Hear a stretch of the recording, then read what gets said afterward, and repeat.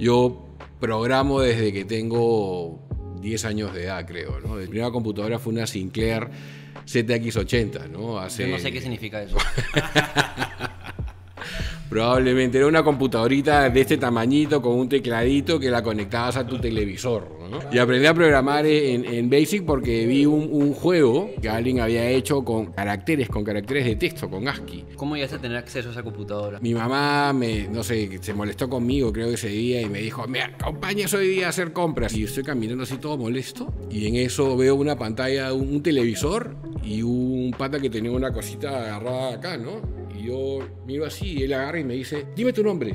Y yo, Juan José. Y el pata agarra y escribe. Y mira la pantalla de la computadora. Yo presiono Enter y veo mi nombre que aparece en la pantalla y comenzó a correr así en diagonal. Y yo vi así mi nombre que corría en la pantalla en diagonal, Juan José, Juan José. Y dije, a su madre. Yo me quedé enamorado de esa vaina.